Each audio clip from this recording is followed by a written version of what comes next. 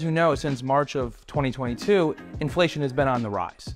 However, what we do is we, we want to see when we have a peak or when inflation has been grappled with. And what we do is we look at that year over year, meaning in February of 2022, how would that stack up against February of 2023 in regards to is inflation increasing or decreasing? And that's just so that we are taking into account seasonality. Absolutely. Okay. Absolutely. So we're looking at this year over year, and what you're going to notice is in October, October, November of 2021, you're going to notice that inflation was kind of high. I mean, 0.6% we're up, then 0.5, same in December, 0.6. But if we compare those now to 2022, we see that, okay, we start to see a little bit of tapering because we see October of 2022 is 0.3%.